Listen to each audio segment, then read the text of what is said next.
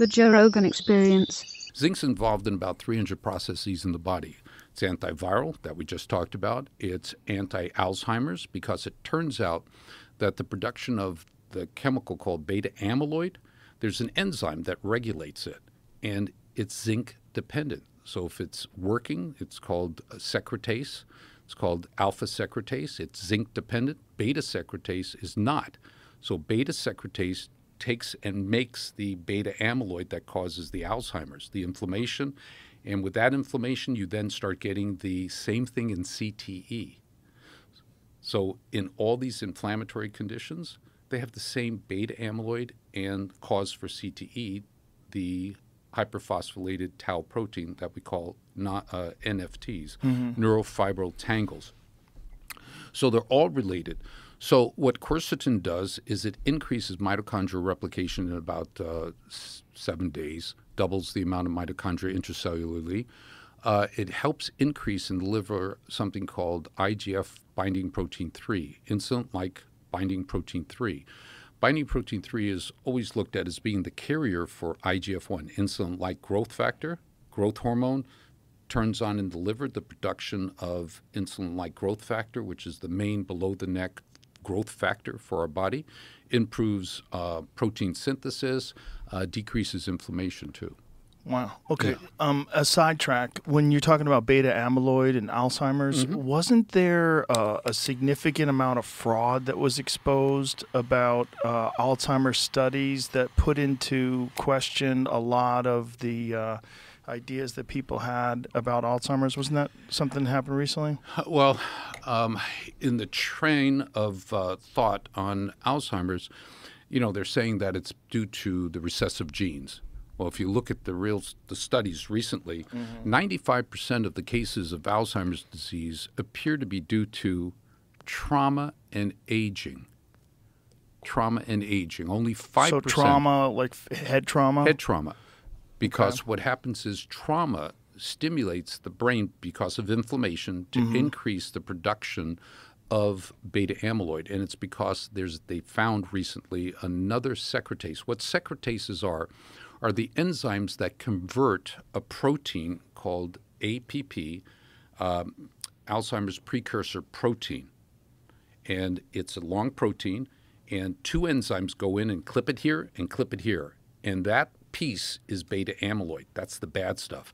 That's a beta secretase and a gamma secretase. But they also have something called alpha secretase.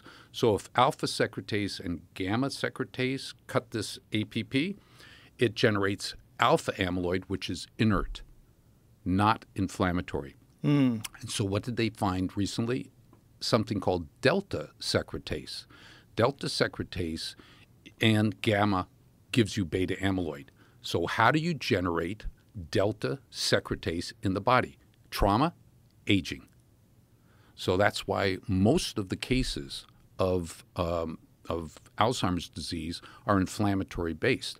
So, what are the things that? Are, are, I'm sorry, but are most cases is there a certain age where people start to develop it? And yeah. has there been any cases of very young people that yes. get Alzheimer's? There's a young form of Alzheimer's, and that might be directly due to having had head trauma and developing this delta amyloid or uh, delta secretase, generating uh, amyloid, beta amyloid that creates the Alzheimer's disease. As you get older, 65 years of age and above, that is could be 5% genetic, but I think what the literature is really speaking towards is that it's all has an inflammatory basis. Remember, trauma in the brain equates out to inflammatory mm-hmm. processes. It's part of the brain's ability to try and protect us. Right. Okay. Remove junk, uh, bacteria, mold, viruses from mm-hmm. the brain, and also metabolites of uh, abnormal uh, metabolism in the brain. What what was the scandal? The I, I Alzheimer's research scandal because it was pretty significant, and they were saying that it it throws into question all of these uh, previous assumptions and therapies that they were providing for Alzheimer's disease. And oh. this person had uh, made a significant amount of money. Yeah. It's the antibodies, it's the treatment protocols, the antibodies against beta amyloid. And they found that even though you were against beta amyloid, you were still progressing on to develop symptoms of uh, Alzheimer's disease. But they were talking about fraud. Uh, Uh, This was like fraud in Just recently. scientific research. Yeah, this is recent, How a retracted paper affected the course of Alzheimer's research. but it's one paper, and what was the Right. focus of? Okay. June 2024 landmark Alzheimer's Beta research paper yep, uh, was retracted due to fraud allegations. Do we waste billions of dollars and thousands of hours of scientists' time? Maybe not. Are new potentially hopeful drugs on the market targeting the subject of the paper, amyloid beta? The review video breaks down the amyloid beta hypothesis, the fraud itself, and where we go from here. So, what is the fraud itself, Jamie? Does it say? So you can find an article that's just not a video, Well, not attached to a video. Beta amyloid data. See, they've been relying Mm-hmm. on beta amyloid as being the focus. And what they're finding is the treatment that addresses beta amyloid, an antibody against beta amyloid, people are still getting uh, progression of the disease. I understand this, but I just want to know what the f- what the fraud was. Oh, okay. So what is the fraud? Amyloid hypothesis. Scroll down a little bit, Jamie. What's the fraud? Where does it get to the what? The, what did the paper bullshit about? Putting it into perspective. Mm-hmm. Du- du- du-. Okay. Fifty-six paper lead to. Uh, But later published and failed to find. where's the fraud?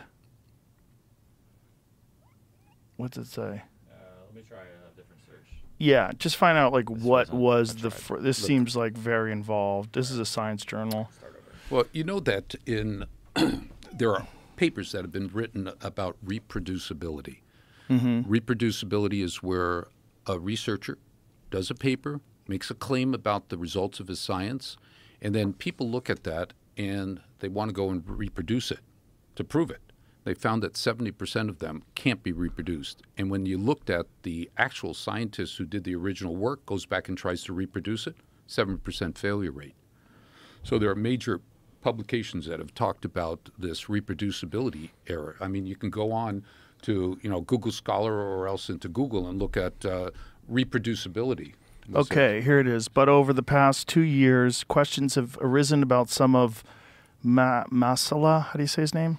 Masila. Mas- Masai- Masala, you were. Meslia, Yeah. Masliah, Masliah, Masliah's research. Uh, science investigation has now found that scores of his lab studies at UCSD and NIA are riddled with apparently falsified Western blots, images used to show the presence of proteins and micrographs of brain tissue.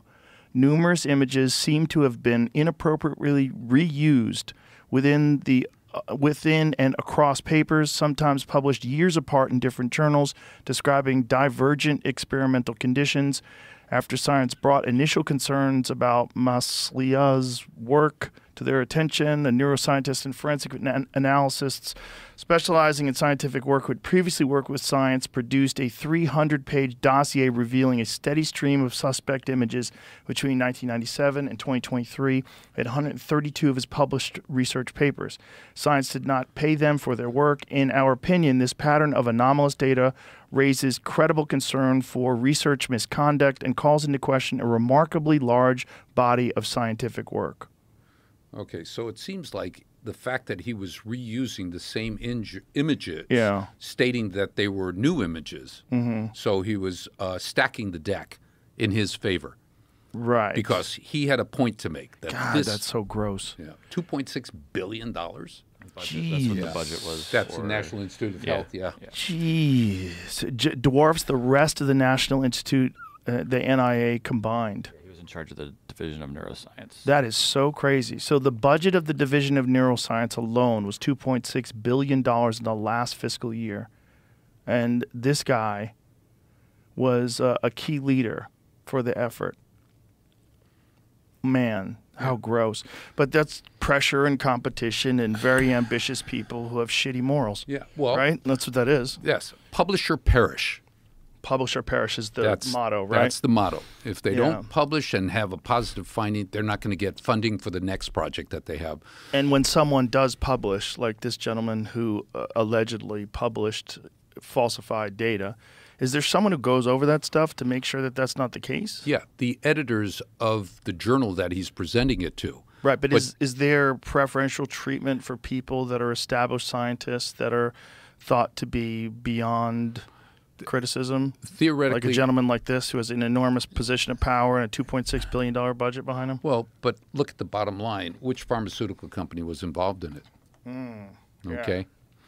Which pharmaceutical? And you know that's one of the the problems that uh, you know RFK Jr. will be uh, generating is that as he finds that this science is seventy percent, you can't reproduce it, meaning that Right. it's maybe not accurate.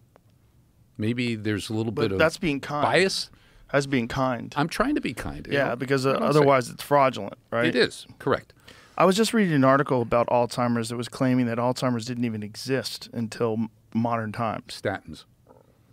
Statins cause Alzheimer's? Is that what you're saying? here- This this article was connecting it to our diet, the standard American diet, and they were saying that all the bullshit food that people eat is contributing to this uh, this condition. And I was what I was going to get to you is that would lead to in- inflammation, correct? You got it. Because the bullshit American diet filled with crap is terrible for you, and that leads to inflammation. You look at the inflammatory neurodegenerative diseases. What does everyone have now? It says a low inflammatory diet. Right. That's what right. it talks about. Also, in HIIT, in high impact uh, interval training and high impact aerobics, what happens is you can increase a chemical in the brain called brain derived neurotrophic factor, Mm-hmm. which is something that helps to improve neuron to neuron communication and neurology of your brain. And I don't know if you saw, we have uh, one of your favorite guys, Gerald McClellan. I don't know if you've seen some of the papers that have come out. He had a stroke in 95 uh, fighting um, Nigel Benn in London. And during that fight, it was a horrible fight if you've ever seen the. It's a crazy fight. It's yeah. So anyway, he had a stroke from that and was Mm-hmm. Hospitalized for 11 days in a coma in ICU in London. Gets out. His sister Lisa McClellan refuses to put him into a nursing home, into a hospice health. Takes him into the house in Chicago, and for 29 years dealt with him. She develops an organization called um, Ring of Brotherhood, where Muhammad Ali's niece and son, I think, are part of it, and they take care of um, boxers who are leaving the ring who have symptoms, punch drunk, or what do they call it, uh, precox or pugilistic, uh, dementia Pugilistic, pugilistic, yeah. yeah. And she contacted me and uh, told me about her brother, and I looked at stuff. And what we did was we set up a fund and we paid for his laboratory work and his initial assessment, and we found he was hormonally deficient. So what we ended up doing is putting him on to the hormone replacement and to um, one of the peptides that we use, uh, which is called N-acetyl Semax, uh, which stimulates the brain to produce more brain-derived neurotrophic factor. He's in Chicago. I'm in Ca- in California or here in Texas, in Magnolia, and one of our docs in Chicago took the lead. I just gave her what to do. He's 20% better in four months on the protocol. He's now remembering things. He's communicating. He's on the phone. And uh, a boxing journalist, uh, Oliver Fennell, came from London to Chicago and wrote a paper which is called "A Day in the Life of Gerald McClellan" and talks about how what happened and where he's gone. And he's had some improvement. Uh, That's incredible. 20 uh, yeah phenomenal